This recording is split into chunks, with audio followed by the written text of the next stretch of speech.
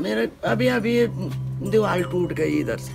बैठी थी यहीं पे, तब तक दीवार टूट गई। कब से बोल रहे तो तहसील में जा रहे पटवारी के पास, कहीं भी जा रहे तो कोई सुना ही नहीं है। जगह भी नहीं दी रहने की, कहाँ रहना हमने, कहा, खाना क्या, कुछ नहीं है।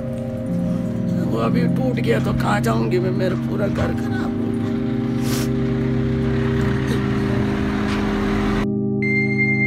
अपनी आँखों के सामने अपना घर दरकने की कहानी सुनाते सुनाते रमा देवी का गला भराया। उत्तराखंड के जोशीमठ में बना उनका मकान दिनों दिन धंसता जा रहा है। चिंता है कि कहीं पूरा मकान ही धरती में न समा जाए। इन दिनों ऐसी ही चिंता जोशीमठ के सैकड़ों लोगों के चेहरे पर है। मकान टूटने का सिलसिला काफ़ी दिनों से चल रहा है। सरकार मतलब झांसा देती है, लेकिन करते कुछ नहीं है। हम लोग रात भर आग सेक सेक के अपना गुजारा कर रहे हैं, बाहर बैठ रहे हैं, बच्चों का डर है। खाने पीने की समस्या हम लोगों के सामने खड़ी हो गई है, क्योंकि हम लोग काम धाम पे जा नहीं सकते, बच्चों को अकेला छोड़ नहीं सकते हैं घर में। ये बहुत दिक्कत आ रही है, कहाँ हम बच्चे को रखे, कहाँ हम रहे? रात रात को नींद नहीं आ रही है, कहाँ पे रहे? समझ ही नहीं आ रहा है। रात को जब आवाज़ हो रही है तो ऐसे लग रहा है कहाँ बच्चे उठाएँ कहाँ अपने को जाएँ। और मकाने दिन प्रतिदिन प्रति खिसक जा रही है। चारों तरफ़ से घिराव आ गया है। रात को मतलब सन्नाटा छा गया जो आगे दो होटल है, उनकी रात को लाइट बंद है। ऐसे सन्नाटा लग रहा है कि जैसे कि यहाँ ही मतलब कुछ होने वाला है। बहुत ही अनहोनी होने वाली है। बहुत ही डर लग रहा है। बहुत ही ज़्यादा डेंजर जोन में है जोशीमठ।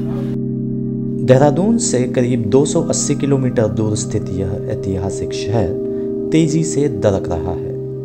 सरकार द्वारा जारी किए गए आंकड़ों के मुताबिक जोशीमठ के नौ वार्डों में 603 मकानों में दरार आई है और छाछठ परिवारों को अस्थायी रूप से विस्थापित किया गया है। प्रशासन के आंकड़ों को स्थानीय कार्यकर्ता संदेह की नज़र से देख रहे हैं। सात तारीख के बुलेटिन के आधार पर। अभी तक जोशीमठ के नौ वार्ड्स में 603 घरों में क्रैक्स आए हैं। बल्कि जो कल का जो बुलेटिन था 6 तारीख का उसमें भी 603 क्रैक थे और आज के सात तारीख वाले भी, भी 603 क्रैक हैं। तो मैं जिला प्रशासन चमोली को यह रिक्वेस्ट करना चाहूँगा कि आप प्लीज़ इस तरफ़ भी देखिए कि क्या सात तारीख को यानी कि किसी भी घर में क्रैक नहीं आया है। जानकार मानते हैं कि शहर की इस हालत के पीछे अनियोजित विकास जिम्मेदार है। स्थानीय कार्यकर्ताओं का आरोप है कि सरकार ने सर्वे रिपोर्ट पर समय रहते कार्यवाही नहीं की। जोशीमठ को लेकर के बहुत सारे अध्ययन सबसे पहला अध्ययन उन्नीस सौ छिहत्तर में एक कमेटी बनी, मिश्रा कमेटी। उसने अध्ययन किया। उस समय शुरुआत में जोशीमठ में भूस्खलन हो रहा था।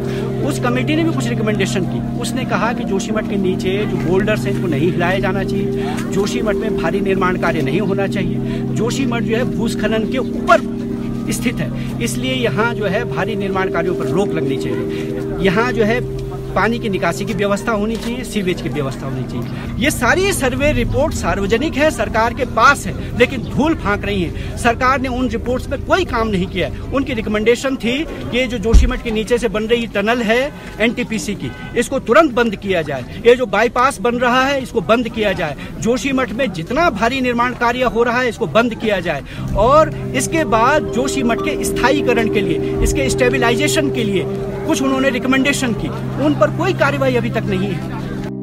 फ़िलहाल जिला प्रशासन ने बॉर्डर रोड ऑर्गेनाइजेशन के तहत चल रहे हेलंग बाईपास निर्माण और एनटीपीसी की तपोवन विष्णुगाड़ जल विद्युत परियोजना के तहत चल रहे निर्माण कार्य को अग्रिम आदेशों तक तत्काल प्रभाव से बंद कर दिया है।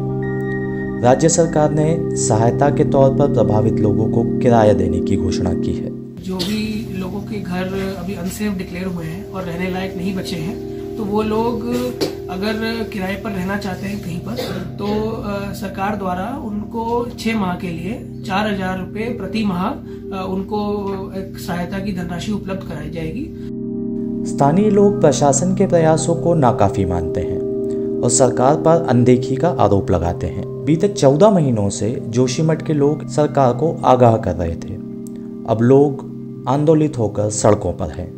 तो आज जो ये चक्का जाम लगा है यहाँ ये लोगों के पास अंतिम विकल्प था।